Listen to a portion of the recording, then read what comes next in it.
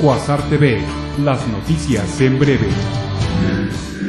El coordinador de los diputados federales del PRD, Silvano Aureoles Conejo, consideró que tendrán que pasar un tiempo considerable antes del restablecimiento de seguridad en la Tierra Caliente de Michoacán y anunció que ese día sostendrá un encuentro con Alfredo Castillo, comisionado especial para la seguridad y el desarrollo de Michoacán, nombrado recientemente por el gobierno federal.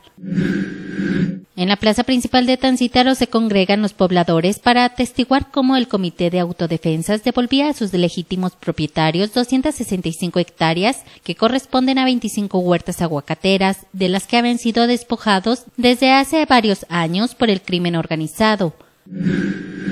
Cientos de maestros de la Coordinadora Nacional de Trabajadores de la Educación realizaron una marcha multitudinaria desde Casa de Gobierno hasta el Centro Histórico de Morelia para protestar contra las reformas estructurales.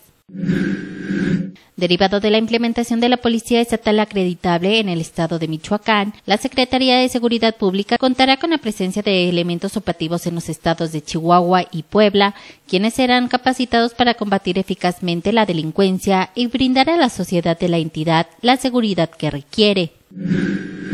A efecto de mantener una Morelia transitable y segura, el ayuntamiento lleva a cabo un agresivo programa de pavimentación en las arterias más transitadas de la ciudad, como Calzada Juárez, Avenida Periodismo, JJ Tablada y Ramón López Velarde, cuyos trabajos serán concluidos en breve. La Secretaría de Salud en Michoacán, a través de la Dirección de Protección contra Riesgos Sanitarios, trabaja en la vigilancia de agua para uso y consumo humano. El año pasado verificó a un total de 347 plantas purificadoras de agua y 46 fábricas de hielo.